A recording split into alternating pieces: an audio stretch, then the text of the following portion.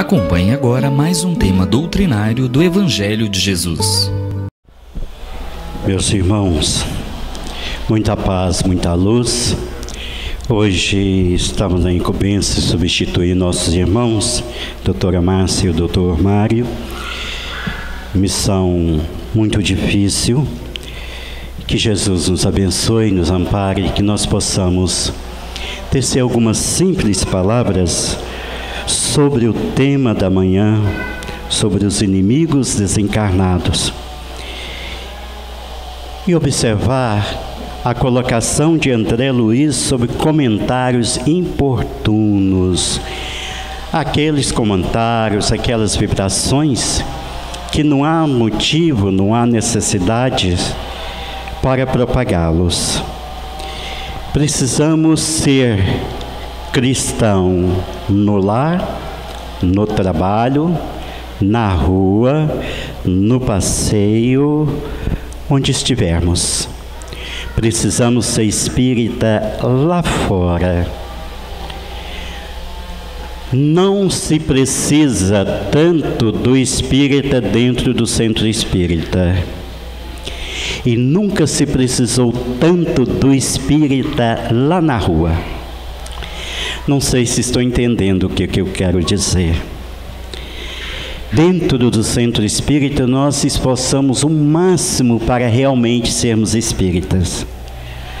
Mas em um passo de mágica, a maioria de nós, quando ultrapassamos a porta do centro para fora, infelizmente nós fazemos o máximo para não sermos espíritas. É aí que está o problema. Nós precisamos ser espíritas lá fora, lá na rua. Nós precisamos ser o combatente do mal lá fora. Lá no nosso lar, lá no nosso trabalho, lá no transporte coletivo, no nosso transporte individual lá dentro do cinema, no teatro, em qualquer lugar. Precisamos combater o bom combate de Paulo de Tarso. É isto que está faltando na humanidade. O Brasil é tido como o país mais religioso do mundo mas infelizmente também uma das sociedades mais violentas do mundo. Nós temos uma sociedade classista violentíssima. Um dia nós ouvimos um espírito algo que nos deixou preocupado. Ele diz o seguinte: a sociedade precisa de deixar a classefobia o brasileiro usa muito a classifobia, os pavores das classes sociais, o antagonismo. É inadmissível um país que se diz tão religioso defender determinados interesses individuais ou de determinadas facções da sociedade usando a Bíblia, ótimo, usando o revólver, usando a bala, ou usando a violência de toda espécie e natureza. Aí precisamos lembrar de Cazuza. Que país é esse? Que país é esse? Que antagonismo é este? Aí depois não queremos sofrer. Aí depois nós não queremos câncer, não queremos a AIDS, não queremos o mal de Parkinson, não queremos Alzheimer, não queremos fogo selvagem, aí nós não queremos as fobias psíquicas de toda espécie e natureza, não queremos as insônias, nós queremos o Éder. Aí nós somos coerentes, que o Éder é uma fantasia. Aí nós queremos essa fantasia. Por que, que estamos dizendo tudo isto? Para que nós possamos entender uma coisa: Mundo espiritual e mundo físico estão entrelaçados. É uma simbiose. Não tem como separar um do outro. Não há como nós separarmos, por exemplo, as zonas umbralinas da Terra. Porque a Terra faz parte das zonas umbralinas. É por isso que nós não precisamos ter medo do umbral, nós já estamos nele. E nós estamos em um dos estágios mais grosseiros do umbral. Porque tem um umbral também mais tranquilo, mais suave. Né? Essa simbiose, esse ligar, tá? essa conjunção mental, ela existe 24 horas por dia. Foi por isso que Jesus dissera: Diga-me com quem andas, que eu te direi quem tu és. Aí depois vem o complemento. Nuvem de testemunha vos acompanha. Nuvens. O que, que é nuvens? É uma coletividade. É uma metáfora interessantíssima. Milhões e milhões de espíritos em nome de Jesus e por Jesus, com Jesus e sem Jesus, nos acompanham. Uns porque querem nosso bem, outros porque querem nos ajudar, outros porque querem aliviar de suas dores morais, outros porque querem testemunhar se nós somos hipócritas ou não. É aí onde entra a maioria do fracasso nosso. Porque, infelizmente, a maioria de nós acabamos sendo hipócritas. Por quê? Porque muitas vezes nós professamos algo, principalmente no templo religioso. E agora estou falando dos templos religiosos, todos. E no mundo lá fora, com todo respeito ao nosso irmão, somos calígulas. Esse que é o sério problema. Outros nos acompanham para nos terminar de empurrar ladeira abaixo. São os nossos inimigos desencarnados. Expressão que eu não gosto de usar muito. Estamos usando em razão do tema. Gosto mais de usar a expressão são os nossos irmãos que não nos entendem e nós também, infelizmente, não os entendemos. Somos muito materialistas ainda. Tudo para nós gira em torno da matéria. Deixa eu prestar atenção nisso. Tudo para nós gira em torno da matéria. Tá? Quando o mundo espiritual não permite que nós tenhamos qualquer benefício que queiramos no campo da matéria, é no mínimo motivo de descrença. É no mínimo motivo de descrença. Esquecemos, no entanto, que Deus é Espírito.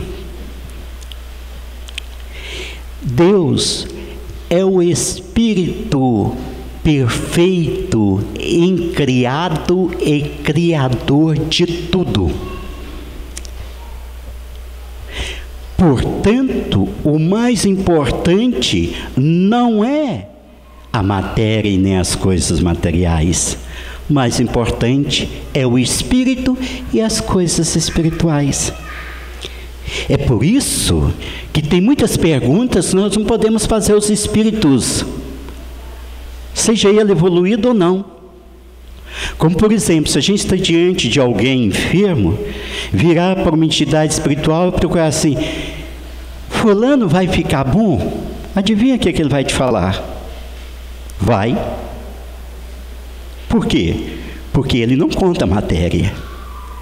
Ele não conta matéria. Vai ficar bom. Você liberta da dor, você deixa o corpo enfermo, você desencarna, ficou bom. O Espírito não mentiu.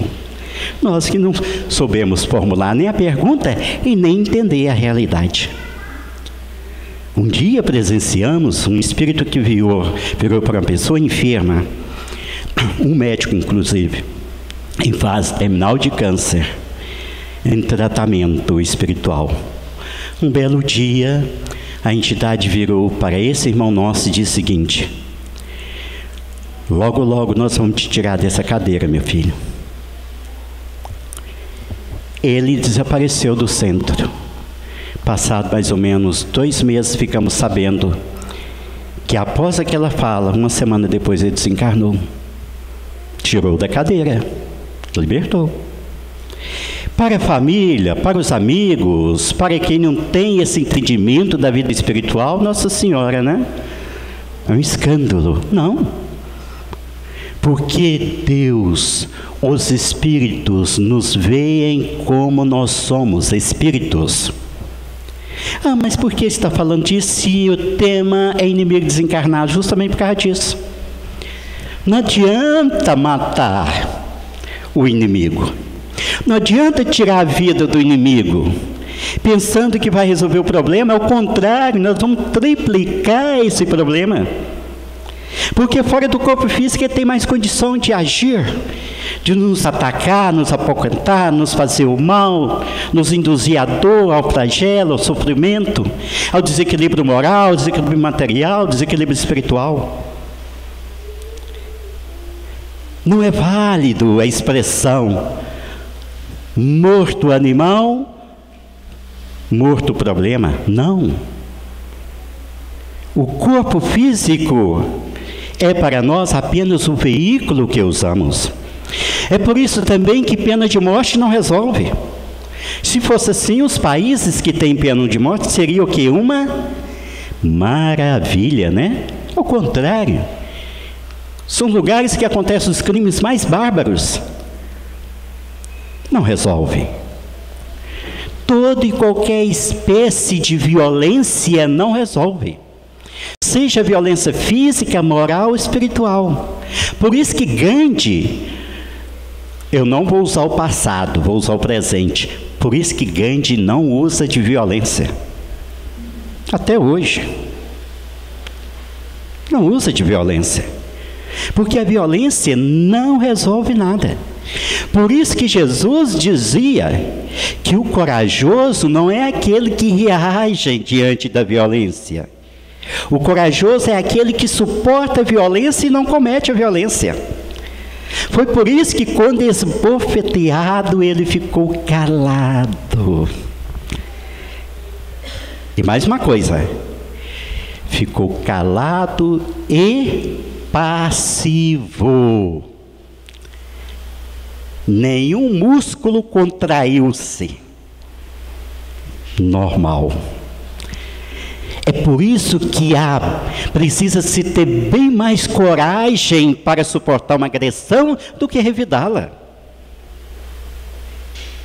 É nesse sentido.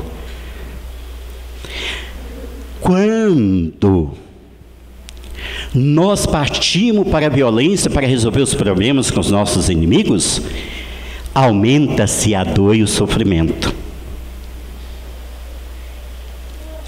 aumenta-se a dor e o sofrimento. Outra coisa que nós, como espiritista, precisamos mudar urgentemente. Infelizmente, nós costumamos tratar os espíritos sofredores como adversários, como inimigo. Nós queremos expulsá-los, nós queremos arrancá-los à força do lado daqueles que estão nós somos ríspidos, nós somos enérgicos com eles, dentro de uma violência mental, moral. Não é assim que nós vamos nos livrar dos espíritos sofredores, dos espíritos inimigos, dos espíritos obsessores, dos espíritos viciados, dos espíritos enfermos. Não é assim.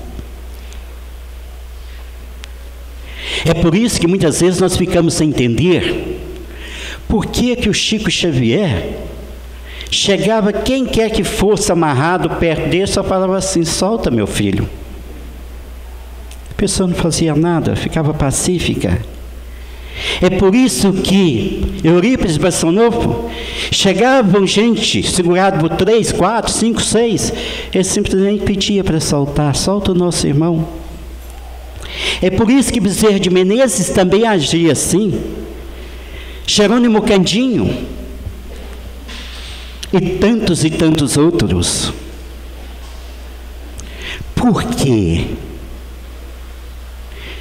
Que força poderosa esses irmãos tinham e têm, que por mais trevoso seja o espírito, eles simplesmente os dominam sem usar a mínima força. Ah, é moral. Sim. Mas esse moral tem um outro nome. Chama-se amor crístico. Amor crístico. O Espírito respeita quem os amam. Pode ser o espírito mais endurecido, ele respeita.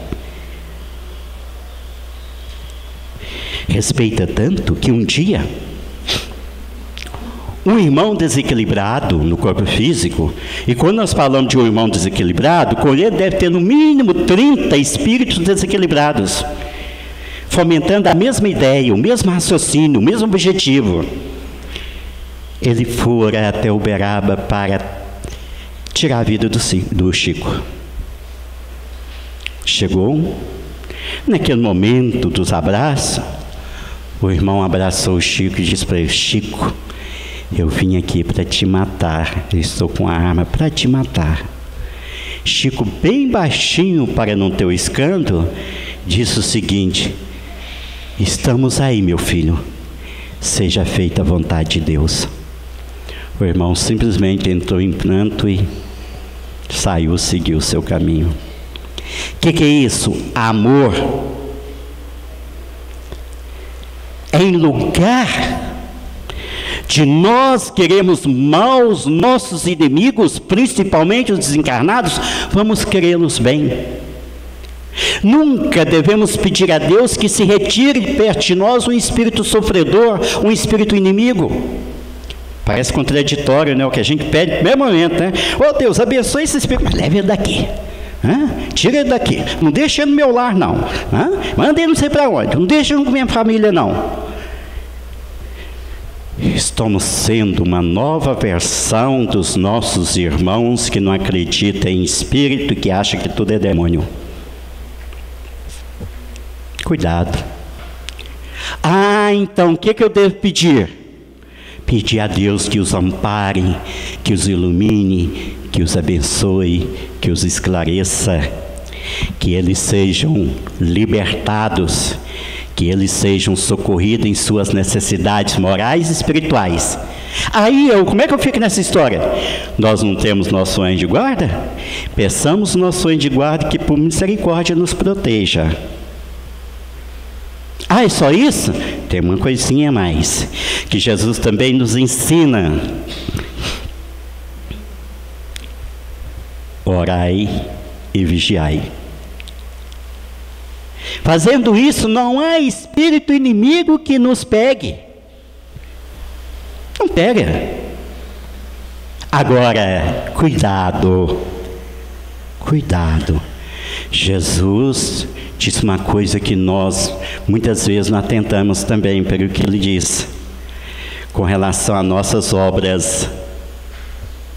Não existe obra sem colheitas, sem frutos sem resultados. Não existe.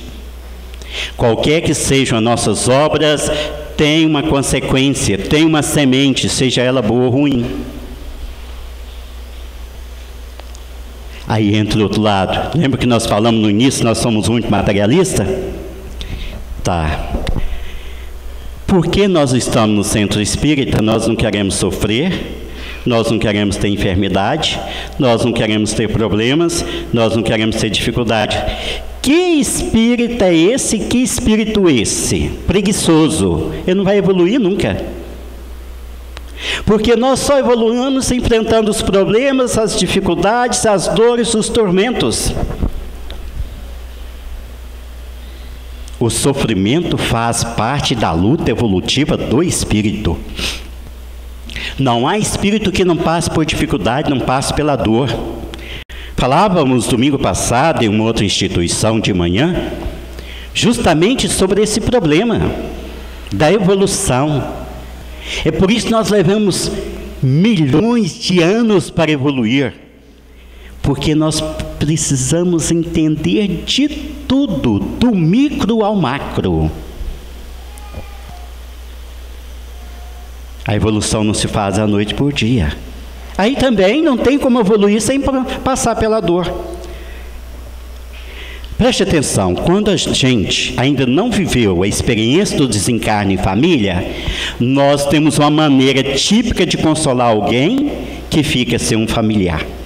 Quando nós passamos pela experiência de ficar sem um familiar, pelo processo do desencarne, nós mudamos o nosso comportamento em consolar aqueles que passam pela mesma experiência. Porque agora nós temos a teoria e a prática junto.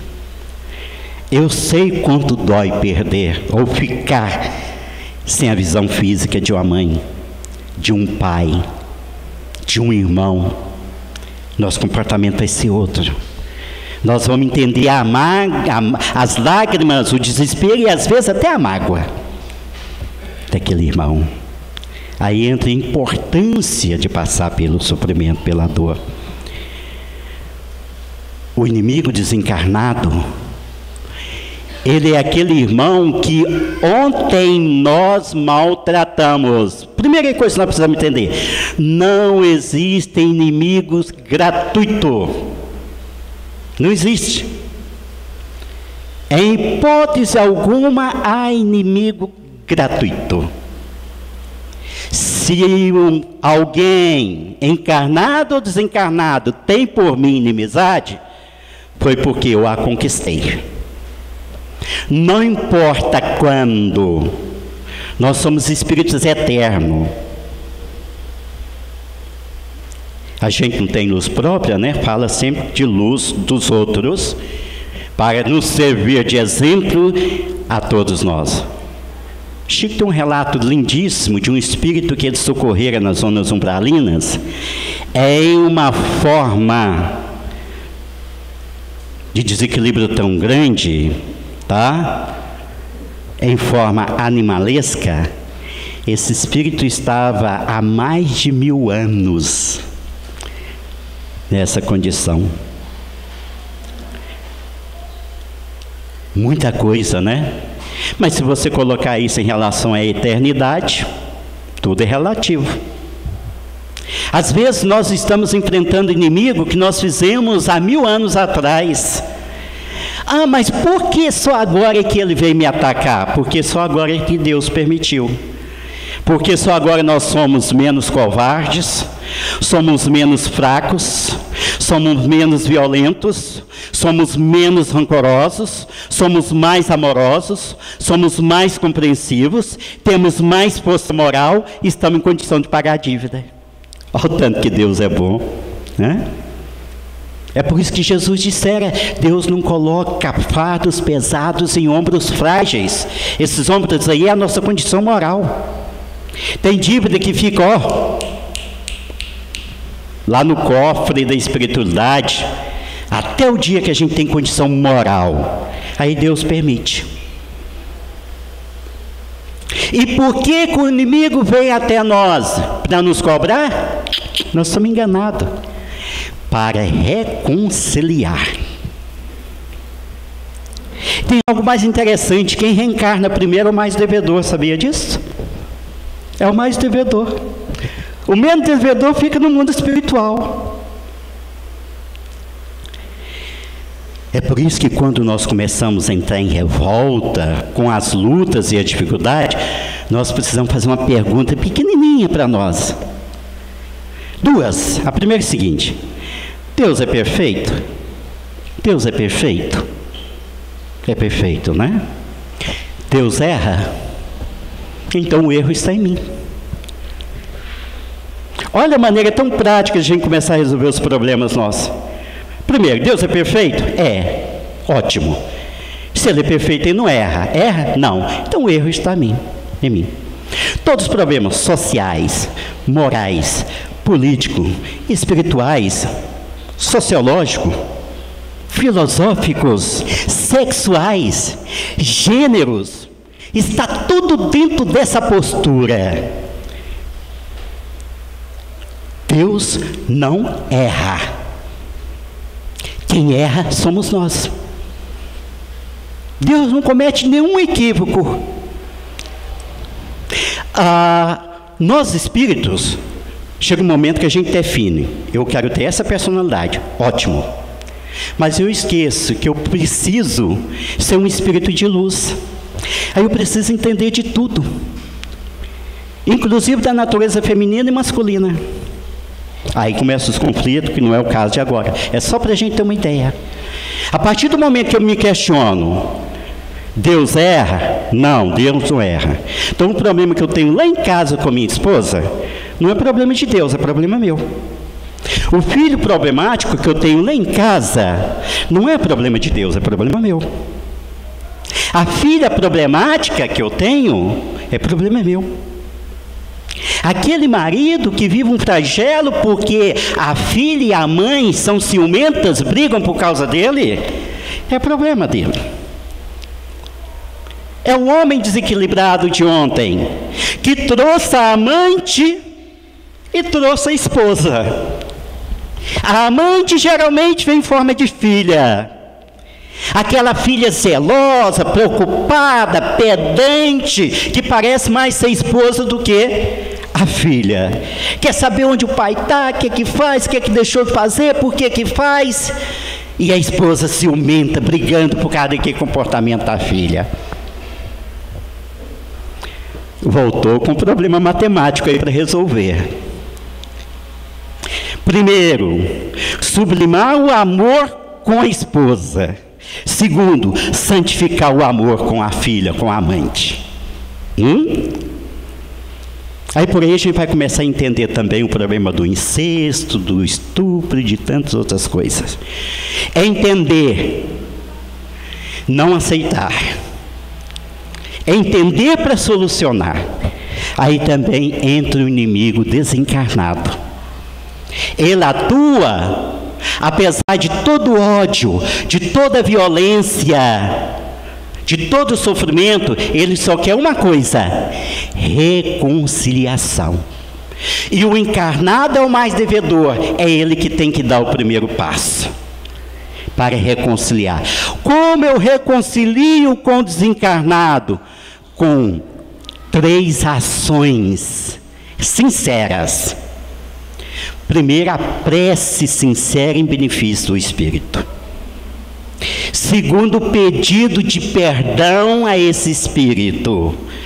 Concomitantemente, perdoando esse Espírito. Tem que ser junto. E não é troca, não, não é barganha, não.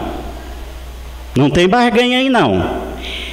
Terceiro, trabalhando do bem em benefício desse Espírito em benefício nosso são os remédios para resolver o problema. Qualquer que seja o problema obsessivo, qualquer que seja a perseguição do espírito. Agora, eu não disse que tem problemas que nós estamos acertando hoje, que tem milênios. Não vamos querer resolver problema de milênios com um ano, dois anos, dez anos. Ele também é resolvido com milênios. Uhum. É receita homeopática, não tem como. Não tem como fugir disto. É? Essa é a realidade. Então, por que é importante a gente saber disso? Tanto como espiritista, no sentido de auxiliar o próximo, tanto como espiritista para enfrentar nossos próprios problemas. Eu não vou deixar de trabalhar no bem porque tem alguém que me persegue noite e dia porque eu sei que só assim um dia ele vai deixar de me perseguir. Eu não vou deixar de ajudar alguém que está em sofrimento, porque o caos é altamente complexo e difícil. Tem problemas que nós começamos hoje a dar os primeiros passos para daqui a mil anos também solucioná-lo. Vamos encerrar nossa fala citando algumas obras interessantes que as pessoas precisam ver para entender esse problema do inimigo desencarnado. Uma, e a vida continua, de André Luiz. Tem livro e bom filme sobre isso. Outro, um livro de psicografia de Divaldo Franco chamado-se Párias em Redenção. Inclusive para entender o porquê do problema do siamês. Por que, muitos voltam ligadinhos? Né? Ah, hoje nós já temos o avanço da tecnologia científica, pode cortar, né?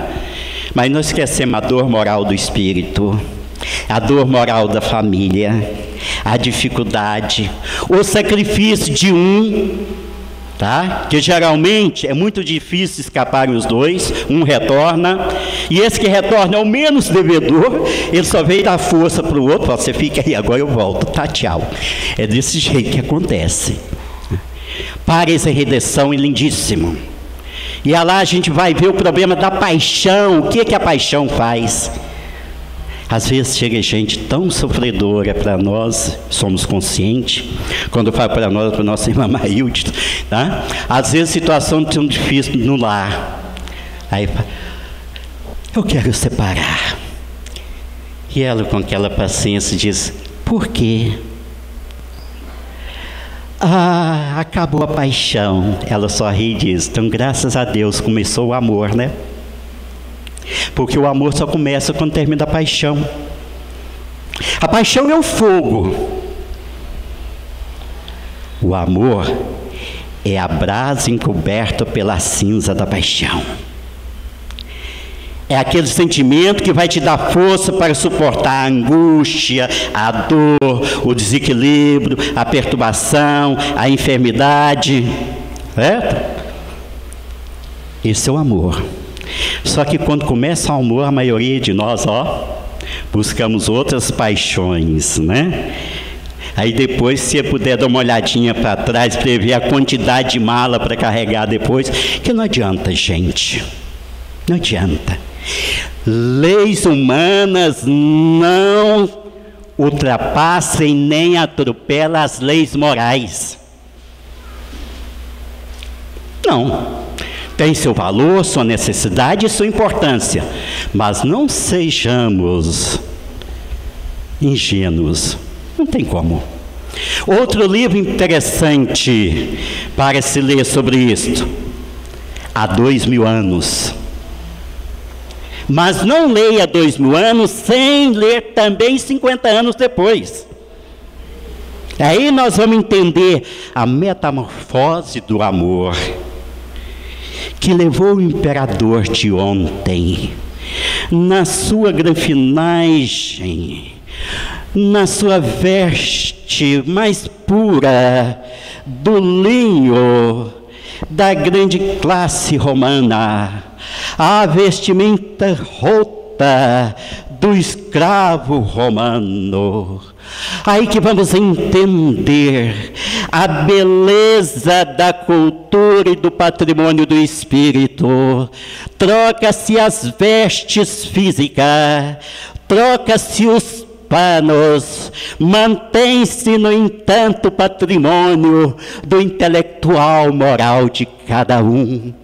O senador de outrora, orgulhoso, vaidoso, que todos olhavam por cima, se transforma na flor de amor, submissa a olhar por baixo todos aqueles mais sofredor, que vivem no engano das classes da opulência da matéria, esquecendo que tudo é passageiro mas tudo eterno ao Espírito.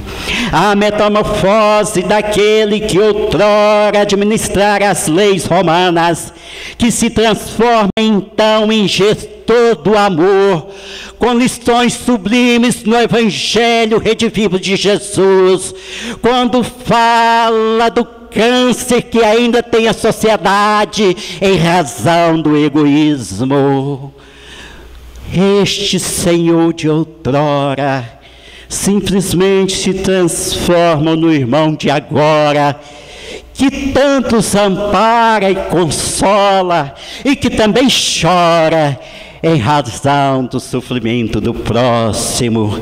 Esse irmão que outrora tinha ao seu lado uma flor de lis que tanto lhe trazia prazer e perfume ao coração mas em razão do seu orgulho, desleixo e desatenção, hoje, por misericórdia divina, para que haja um pouquinho mais de alegria em seu coração, eis que ela se transforma dos mundos sublimes materializando-se do testamente, para que ele tenha alegria de aliviar.